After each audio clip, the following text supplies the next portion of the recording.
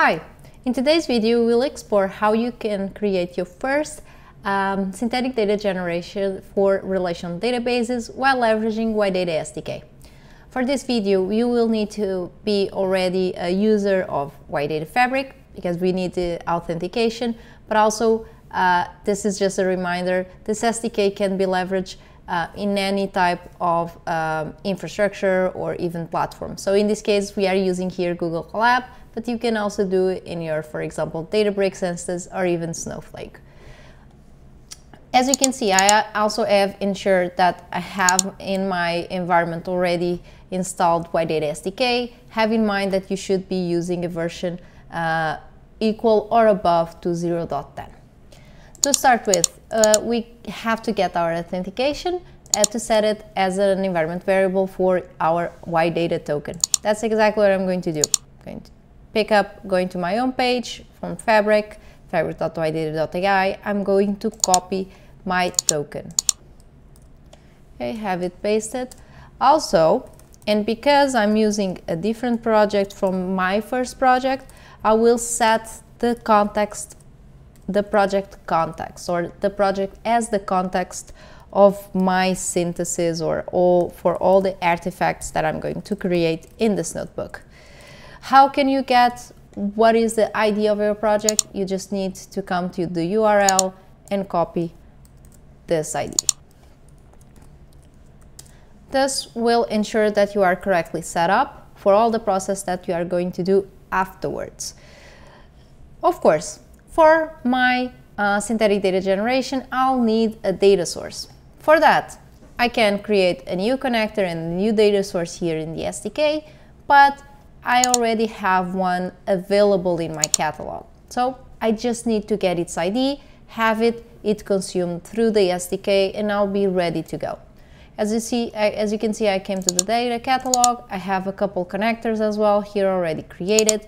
So I just join here um, the data catalog. I have here the relational databases. As you can see, have the schema and a very good uh, understanding of how the data looks like. So what I need now is definitely uh, the ID uh, of my data source that I can get by clicking in Explore Labs and copying the UID that I can see here.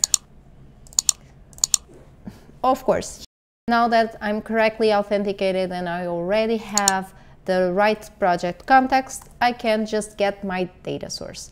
I already have one created, so I'm just show, going to show you how you can consume it through the SDK and use it as part of your synthetic data generation process. For example, uh, for that and to get the idea of your data source, here I already have a relational database as a source of data in my data catalog.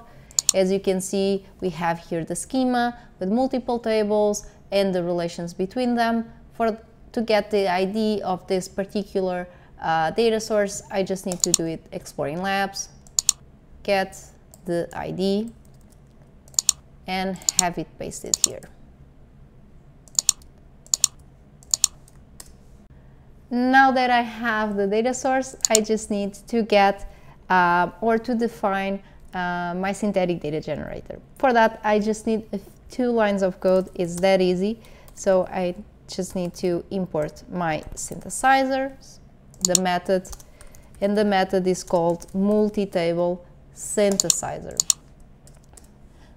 Of course, I will define it, and one thing that is highly helpful for the process of synthesis is that you can, um, you can, for example, define your own write connector. What does this mean? And this is a mandatory method that uh, parameter that you should put. This means that all your synthetic data that is generated will automatically be written in a connector uh, or in a storage, uh, destination storage. This is highly helpful as automatically you have a way to integrate with the existing storage train a synthetic data model, and afterwards automatically offload any synthetic sample that you need or want towards your destination storage. For that, I'm going to the connectors. I already have here a MySQL connector created for my synthetic uh, data set. I'm going to get my connector ID with the using labs, close it, and have it pasted here. This will create the definition of my synthesizer and after initializing my synthesizer I want to make sure that my synthesizer is fit to my data set or the data source that I got in the last step. Is as simple as doing this and automatically I have already my synthesizer training, which is very simple to be done and can be achieved in less than five minutes. Of course, now my uh, synthesizer is training, but as soon as the training process is finished, I can just generate my synthetic sample uh, by calling my synthesizer, calling the method sample, and getting, defining a fraction of the database that I need. What do I mean by this? It means that I can have, for example, if I want to have a database with the same size as the originally observed, I can set this perimeter as 1, or in case I have it uh, just half of the database, I can uh, add uh, 0.5, or even I can augment it by saying that I want 1.5. This will allow me to generate uh, a dataset that has uh, a database that has the size of the original one plus half the size, so 1.5. Um, and this will allow me to automatically, while sampling, uh, store all the data towards the connector that I have provided um, here uh, at the definition of our synthetic data generator. I hope you have enjoyed.